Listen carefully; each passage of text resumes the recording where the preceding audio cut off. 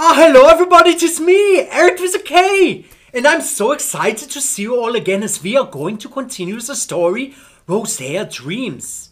And now we are on chapter 12, and the title of this chapter is No Travelers Without a Cause. After Carl had taught them about colors, he changed the topic. So, what do you want to do?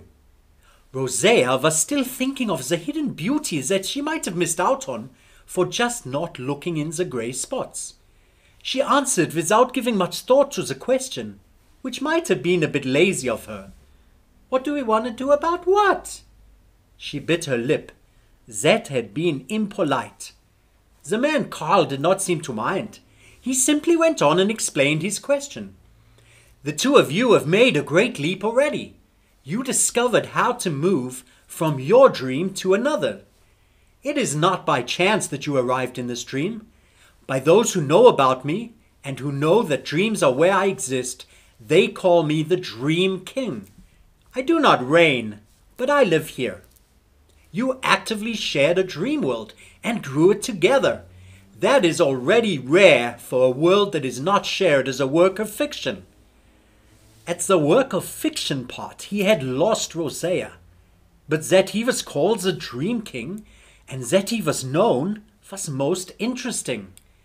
This means that others could also move between dreams, or maybe just Carl could. Unfazed by or unaware of losing her for a moment, Carl continued. You have now learned to move between dreams, and I would like to know what you want to do with this ability. Instead of finally answering the question, Rosea said, So you are a king? He laughed. No, I am really not. I am called the Dream King at times, and dreams are my domain. Rosea asked, What is a domain? Gideon looked like he wanted to open his mouth and explain it to her, but she shot him a glance, and he thought better of it. The question had not been to Big Mouth, it had been to the Dream King, who sucked now on his lip to gather his thought for a good explanation. Let me better explain what I meant than go into explaining the word. Dreams being my domain means I know my way around dreams. Rosea said, Okay. Gideon looked at her with clear doubt shone in his eyes. She rolled her eyes at him and said, It is easy. It is like at home. In my room, I know where everything is so much so that I can find my way even if it is dark. My room is my domain. Gideon admitted. That was surprisingly accurate. In this admission, Big Mouth might have stumbled over his own words. Rosea was not happy and said, Surprisingly? He hastily added, In a good way, in, in a good way. Rosea let it go. She remembered that all this had started with a question. Your Majesty, what was the question again?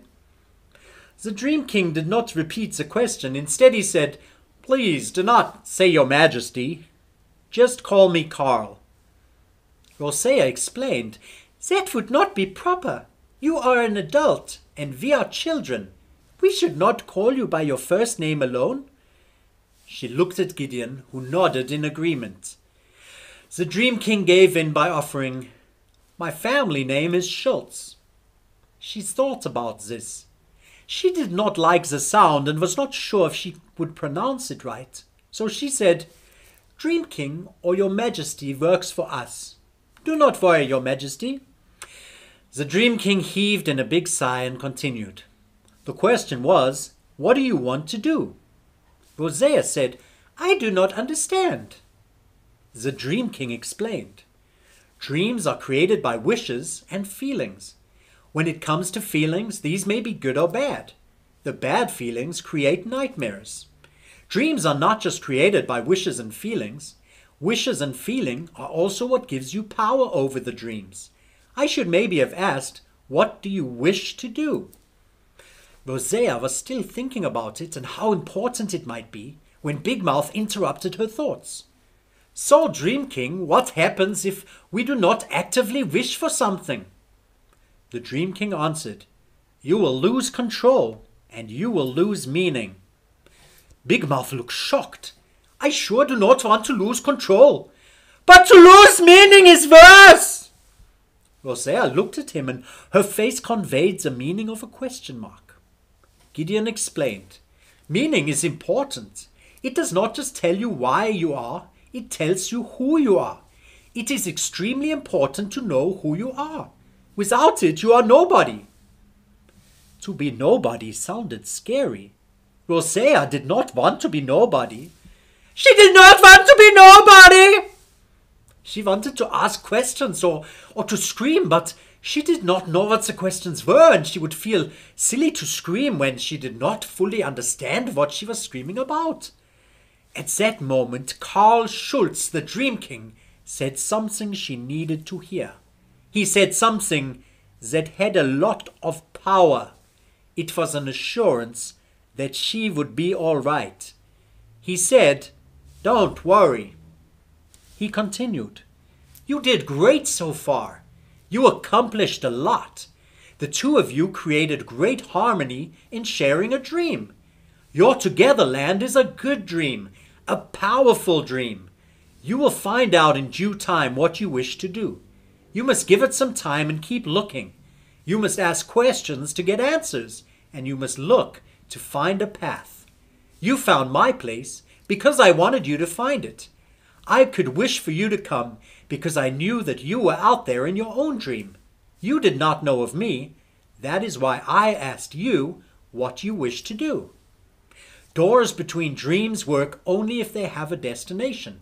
Without a destination, you will arrive nowhere. To know what you want will give you a destination. Rosea was no longer scared, but she was a little sad now. Does that mean that we cannot travel to other dreams if we do not know what we want? The Dream King nodded. Without a destination, every path does only lead you back to where you have already been. Gideon tried to cheer her up with, we only have to decide where we want to go and we will get there. The Dream King assured her, That is right. All you need to find your path is to decide on a destination, and I will help you with your decision if you are okay with that. She was more than okay with some help. Rosea did not want to be lost. She did want she did want to go somewhere. She did want to go somewhere, you know. Where she would go her dreams would show her soon. She was now certain of that. How did she know? She had learned that her wishes had powers in her dreams. She wished to know. She also wished to think about it. That she wished to think more about what she had learnt meant she would soon leave the dream to give her the time to think. There was one more thing she needed to do before waking up. The Dream King had been nice to them and taught them a lot about colors and the power of wishing. She turned to him and said, Kea leboha. Gideon said, Toda Rabbah.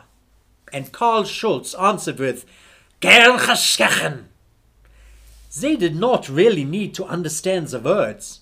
Rosea and Gideon were thankful that there was someone to help them, an adult who understood their journey through the worlds of dreams and Karl Schulz was happy to help.